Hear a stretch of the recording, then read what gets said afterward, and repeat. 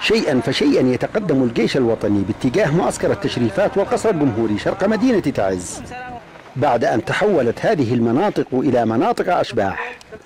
وحدهم المقاتلون يجوبون هذه المناطق بعد أن سيطرت قوات الشرعية على مستشفى الكندي وصالة الملوك وأصبح لا يفصلهم عن معسكر التشريفات إلا الشارع الإسفلتي.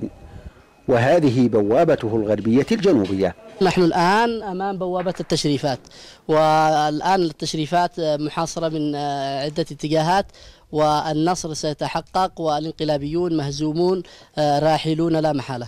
السيطرة على مستشفى الكندي وصالة الملوك ومدرسة صلاح الدين والآن الشباب والجيش الوطني على أسوار معسكر التشريفات.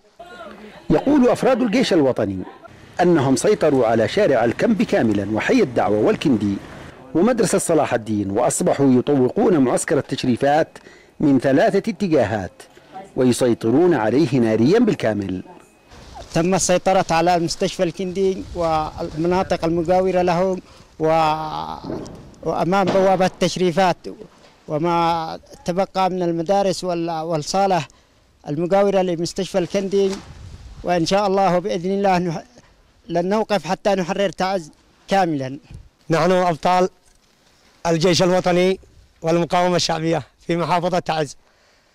لقد تم السيطرة على الجزء كبير من معسكر التشريفات وكذلك مستشفى الكندي الشامخ أمامكم وكذلك كثير من الحارات المجاورة لمستشفى الكندي. وإن شاء الله اليوم سيسقط أو غد القصر الجمهوري بمشيئة الله.